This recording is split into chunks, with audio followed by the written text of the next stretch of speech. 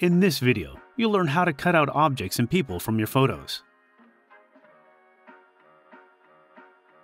The Cutout tool is located in the Photo Montage tab. Start by opening a photo to use as a background to your photo montage. Then click the Photo Montage tab.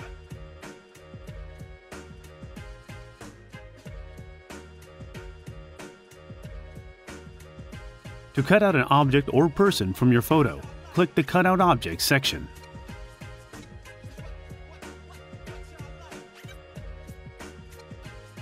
Next, go to My Cutout Images and click Cut Out. Then select the photo that you want to cut out.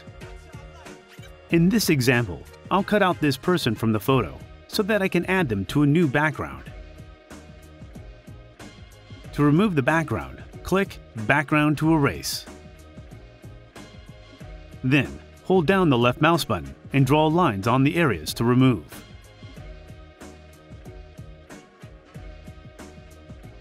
The workspace is now divided in two. The left side shows my background selection, and the right side shows a preview of my cutout. I can see there are some small pieces of background left, and a few hairs have been deleted. To improve the accuracy of my cutout, I'll now use the Enhance Edges tools. This will allow me to remove the remaining background and get more precise detail around the hair.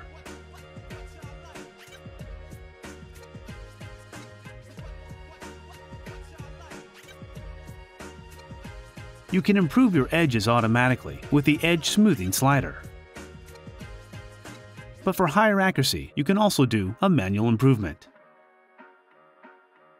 To do this, click Edge to Improve. Hold down your left mouse button and highlight the areas that you want to improve on your cutout. Now, in the preview window, we'll see all the details of the hair and the background has been entirely removed. Once you're happy with the result, all you need to do is click Save and Add to the library.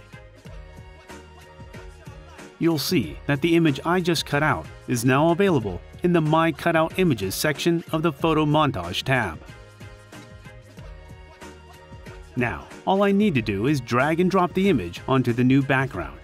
The cutout image is now saved to my library, which means I can add it to any new photo montage. Each time you cut out an object or person, the image will be added to the library, allowing you to build up a big selection of images for your photo montages.